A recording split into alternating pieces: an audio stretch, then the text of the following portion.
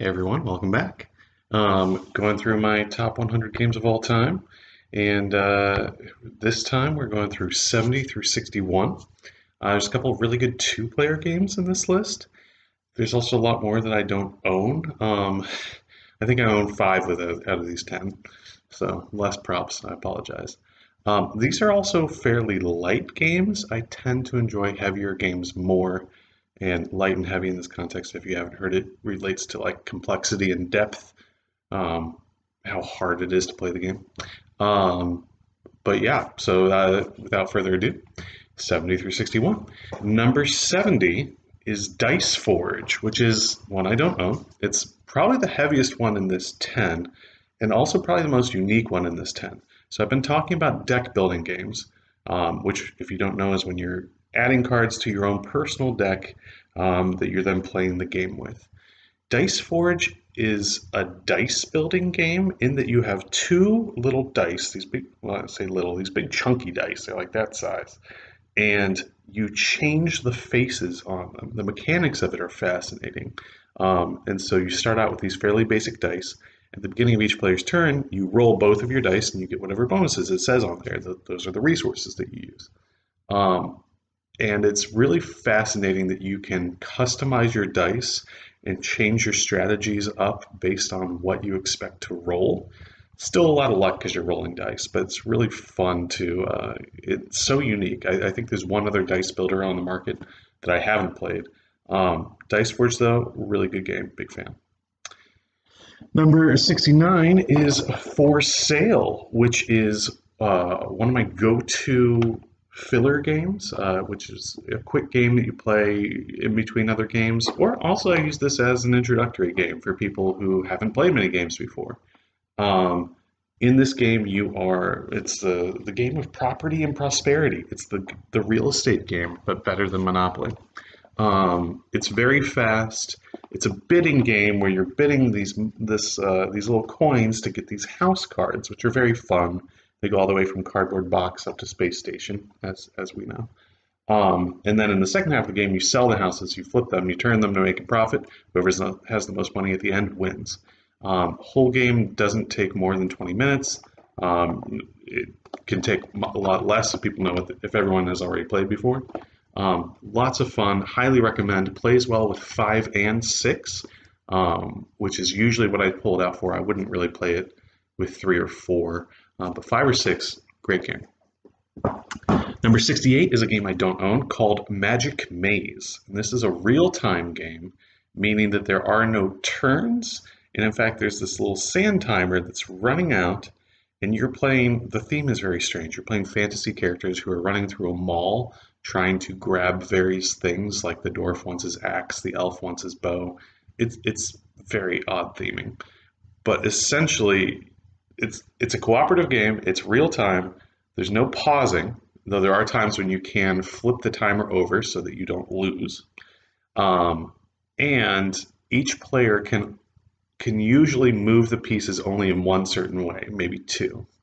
Um, and so you, you're on a little grid. You need to move them. So maybe someone needs to move the piece north, um, but there's four pieces, and you might you can't talk to them you can't tell them what to do so you get very frustrated and you take this large pawn and you and you put it in front of them meaning i need you to do something. And then they get very frustrated because they have no idea what you're talking about but you can't actually speak to them.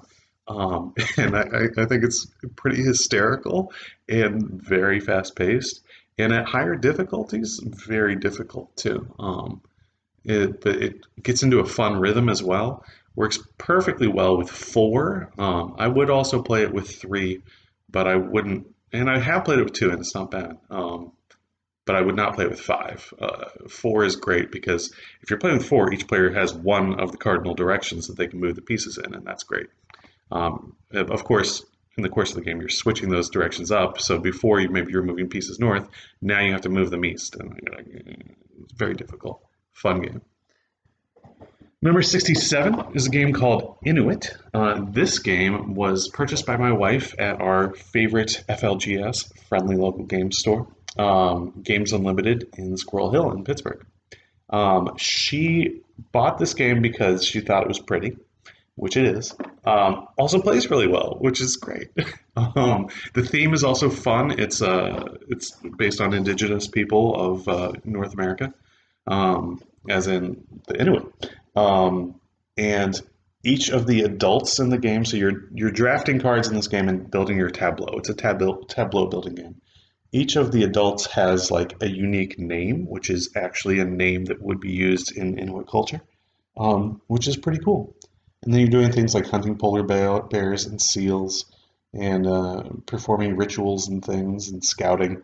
Lots, lots of fun. Um, uh, yeah, it's very unique for a tableau builder, and it plays pretty quickly. Um, big fan. Some of the stuff in the expansion it comes with two built-in expansions. I would pick and choose what you want to use from those. Um, but the base game is also just quite good. And that's number 67, Inuit. Number 66 is another game I don't own. It's a game called Parks. This is the second game on my top 100 and final, I think. It's based, the theme is the national parks. Um, and in this one, uh, you're moving along a little path, taking actions in order to collect resources in order to visit parks. Um, and when you visit parks, you get points. Um, it's fairly simple. It's certainly an update, in my opinion, on the the furthest back person takes the next turn, um, as in uh, Tokaido, which I am not a huge fan of. Uh, I, I, I, played it out. Um, but Parks is also very beautiful. Uh, the artwork on the cards for the parks is fantastic. You got nice little wooden pieces too. Um, yeah, big fan. That's 66 Parks. Number 65 is one of my go-to uh, two-player games. This is Lost Cities. Um, I initially started playing this game with Nick Lishko when we were studying abroad in Austria, and we were taking a game theory design uh, game theory class um, with Dr. Welker, and there were a lot of games, and it's like you play these games and and you know talk about them and about the game theory elements in them. Um, and we played this a lot. Uh, good times. Um, also played this a lot with my wife. Um, one of the games we took on honeymoon. Um, and this is also a game that I tend to give people, at least back when I was single and wanted to give people board games for, for gifts, I would give the give it to them as wedding gifts. So if I've ever given you Lost Cities for a wedding gift, um, post in the comments or something. I don't know. Um, really fun game. There's a newer version that includes six expeditions. Uh, this is the original one that includes five. I hear this one's better because with with five expeditions, the two of you are bound to be fighting over one because you almost always want like three expeditions. Sometimes if you're crazy, you'll do four. Sometimes if your game's not going so well, you'll do two. Um, and if you're really insane, you'll try five and you'll lose horribly. So that's good. Um, but very simple game, just numbers that you're trying to put in sequence um, from Reiner Knizia, um, who is very prolific and has been on this list before and will be on this list again. Number 64 is another two-player game, only two-player game, called Jaipur. Uh, this was given to us by a friend of Amy's that she knows through her work that heard that we like, I can't remember his name, I always forget his name, great guy. Um, but he knew that we like board games and had heard that we hadn't played Jaipur, so he gave this to us. It's his favorite game, I guess, to play with his wife. Um, and this is a two-player trading game, as in you're trading goods back and forth, and that doesn't normally work with two players. It actually does work here. Um, at first glance, I was not too enamored with it, but on subsequent plays, this there's a surprising amount of depth in here, and it plays quickly. But the more you play it, the more you see kind of what it has to offer. Um, and you're essentially trying to trade goods and get the most points. The earlier you trade them, the earlier you sell them, the more points you get. But if you sell three, four, or five, you get bonuses. And there's also a lot of camels involved, and who doesn't love camels? Um, other than people who have to work with them in person. Um, that's 64, Jaipur. Number 63 is Bananagrams. If you haven't played Bananagrams, this is speed Scrabble. That's literally all it is. So you got little chunky Scrabble pieces here.